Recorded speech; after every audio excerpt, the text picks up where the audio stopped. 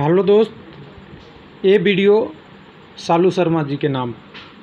उन्हें एक क्वेश्चन पूछा है, चलिए देखेंगे, तभी बात करेंगे, वीडियो को आगे बढ़ाएँगे। इन्होंने बोला है, बाकी आरआरबी या बाकी जोन का कब आएगा? तीन मिनट पहले और तीन मिनट में मैं थंबनेल बनाया, वीडियो बना रहा हूँ।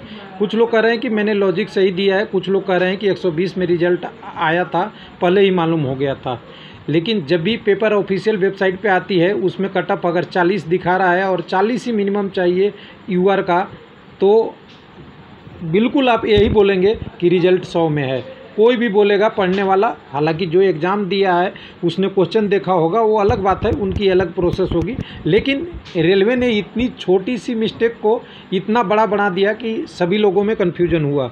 अब क्या हो रहा है कि बाकी आरआरबी, चेन्नई और बंगलोर कि दोनों को देख के अपनी रिज़ल्ट सुधार में लगे हैं। अब रिज़ल्ट आज शायद नहीं आए। एक आध आधार भी जिनका सुधर जाए, क्योंकि अब टाइम हो गया है बहुत। नौ बज गया है। टुमारो यानी कल से रिज़ल्ट आएगा। रिज़ल्ट तो आज ही पब्लिश हो जाता है। जनरली होता क्या है कि सभी आरआरबी एक ही दिन रिज़ल्ट पब्लिश करते हैं, कुछ गोरखपुर जैसे छोड़ के। क्योंकि ऐसे होता इसलिए है कि सभी लोगों को पता चल जाए, एक साथ रिज़ल्ट का डिसीज़न होता है, एक ही बार जारी हो जाए ऐसा होता है। लेकिन इस बार क्या हुआ? दो आरआरबी के आने ही पता चला कि सुबह रिज़ल्ट आया, बाद में डिक्लियर हो गया। तो पूरी कहानी अगर देखेंगे वीडियो का तो सारी चीज़ें आपको पता चल जाएगा। लेकिन अभी क्या है? रिज़ल्ट अब सुधार होगा। सुधार क्या होगा? क्या क्या गड़बड़ी थी? आपने देख लिया होगा। मैं टेलीग्राम से आपको दिखाने की कोशिश करूँगा। एक्चुअल दिखाने की। मैं इधर उधर की बातें नहीं करूँगा। टेलीग्राम में हम आएँगे यहाँ पे फ़ाइल पे। फ़ाइल में देखिए, सुबह की रिज़ल्ट और अभी की रिज़ल्ट हमारे पास होगी। हम टाइम के हिसाब से चलेंगे। देखिएगा टाइम के हिसाब से अगर चले तो चेन्नई में देखिए ग्यारह बज के चौवन मिनट पे लोगों से शेयर कर रहे थे। टाइम देख लीजिएगा, मैं अपने से टाइम नहीं बता रहा हूँ। यहाँ पे रिज़ल्ट देखिए, हुआ क्या? रिज़ल्ट जब पब्लिश हुई तो कोई भी रिज़ल्ट ही देखता है, कौन पेपर में क्या दिया, कितना स्कोर क्या किया, किसी को नहीं पता। लेकिन यहाँ पेपर में देखिए यूआर का ईडब्ल्यूएस का एस का एसटी का ओबीसी का ईडब्ल्यूएस का कटअप ये था। यहाँ से कुछ नहीं पता चलता कि ये सौ में है कि डेढ़ सौ में है, या तीन सौ में है, या एक सौ बीस में है। कोई नहीं बता सकता। हो सकता है कि कोई लोग कम में है लाए हों, कुछ लाए हों, बहुत अलग अलग कंडीशन हो। रेलवे ये भी नोटिफिकेशन जारी किया था कि हम कटअप को कम कर सकते हैं जब ज़रूरत पड़ेगी। कैंडिडेट नहीं मिलेगा तो ये भी कोरिजेंडम था। लेकिन जब ही इधर की तरफ़ राइट की तरफ़ आते थे तो एक सर्विसमैन का हमें दिख गया था। एक सर्विसमैन में 40 यूआर का कटअप दिखा रहा है, यानी अब जब नोटिफिकेशन पढ़ेंगे तो यूआर के लिए मिनिमम 40 परसेंट चाहिए नंबर और एक कटअप कोई भी देखेगा तो ये बोलेगा कि ये कटअप सौ में दिया हुआ है।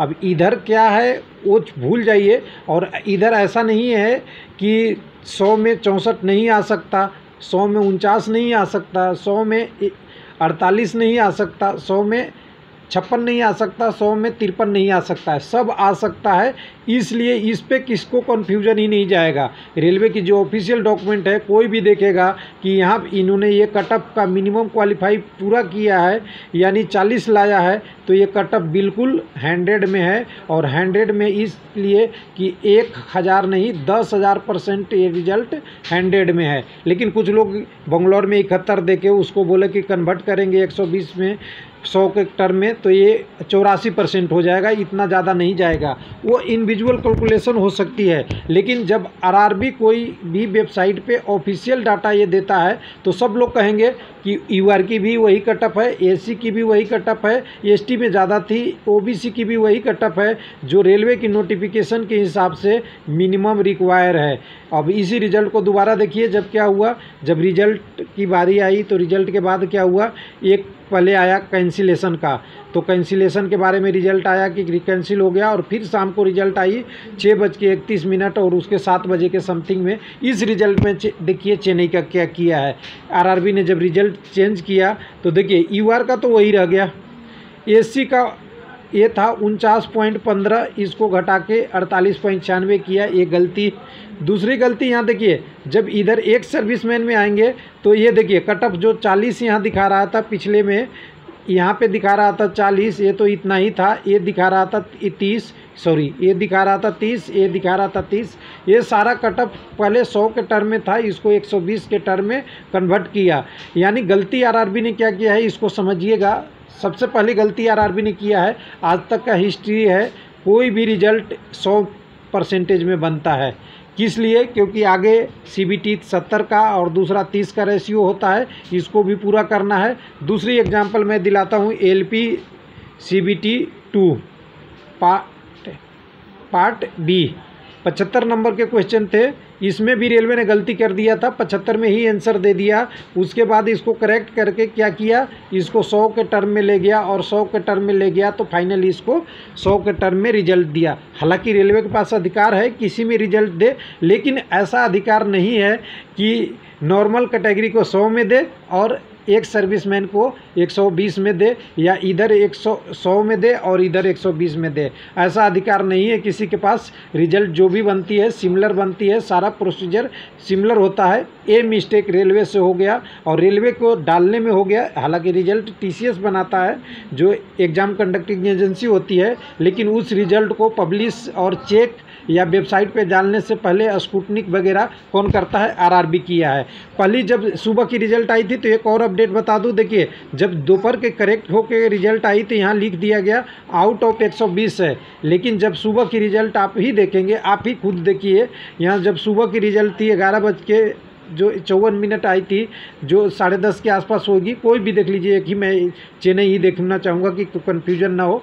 चेन्नई भी ओपन करेंगे। तो यहाँ पर देखिए, यहाँ पे कुछ नहीं लिखा था कि ये रिज़ल्ट सौ में है कि डेढ़ में है, या एक सौ बीस में है, या परसेंटेज बेस है। तो मैंने क्या बोला था ninety nine point nine nine nine percent क्यों है, सौ में है। क्यों? क्योंकि जब यू आर की क्राइटेरिया 40 परसेंट चाहिए, उतना ही ये दिया है तो 120 में तो ये कैंडिडेट क्वालिफाई ही नहीं होगा कोई। तो बिल्कुल सिंपल सी बात है, कोई भी बोलेगा सौ में है, लेकिन कुछ लोग कहे कि सौ में नहीं था। वो सही अब हुआ, जब ये रिज़ल्ट को, इसको 40 को बढ़ा के कब किया? 40 को बढ़ा के इन्होंने कब कहाँ ला दिया? देख लीजिए 40 को बढ़ा के इन्होंने उनचास पे लाया, तब ये रिज़ल्ट जाके एकदम बिल्कुल 120 में हुआ। यानी आरआरबी ने यह गलती किया कि एक ही रिज़ल्ट को डबल मीनिंग बना दिया। डबल मीनिंग इसलिए कि उन्होंने गलती कर दी देखने में, सारा रूल को फॉलो करने में और वही रूल फॉलो नहीं हुआ। इसलिए क्या बाकी आरआरबी का रिज़ल्ट अब सुधार में चला गया और वो रिज़ल्ट अभी पब्लिश नहीं होगा। चेन्नई और बंगलुरु का ऐसी के तैसी तो हो ही गया। इन्होंने जो रिज़ल्ट पब्लिश किया वो गलती हो ही गया। तो क्या बाकी उन्नीस आर भी यही करे? तो उन्नीस आर के पास गया होगा फ़ोन। अपने रिज़ल्ट को रखिए रोक।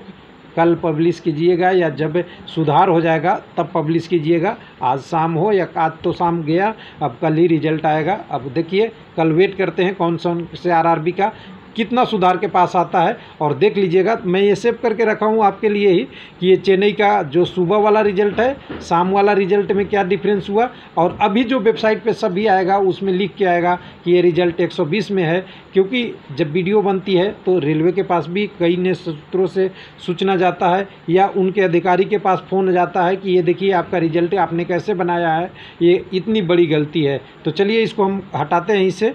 इस वीडियो को ख़त्म करते हैं। तो बाकी आरआरबी का रिज़ल्ट आपका कब आएगा? कल आएगा। थैंक यू धन्यवाद।